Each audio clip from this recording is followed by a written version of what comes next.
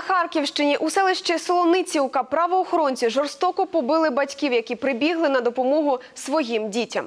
Міліціонери Дергачівського району Харківської області на підпитку вимагали гроші з металозбирачів у гаражному кооперативі.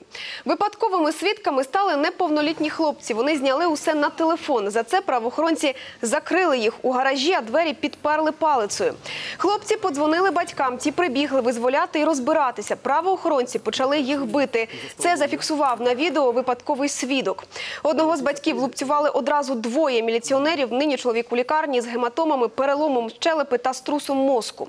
Прокуратура Харківщини відкрила кримінальне провадження за фактом перевищення влади або службових повноважень працівником правоохоронних органів. За це передбачено позбавлення волі від 3 до 8 років із неможливістю обіймати певні посади чи займатися певною діяльністю 3 роки.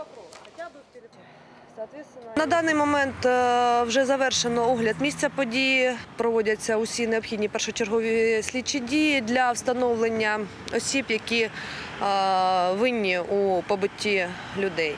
Потерпілі е, ну, не досить активно співпрацюють з слідством, і на даний момент нам їхня позиція не зовсім зрозуміла.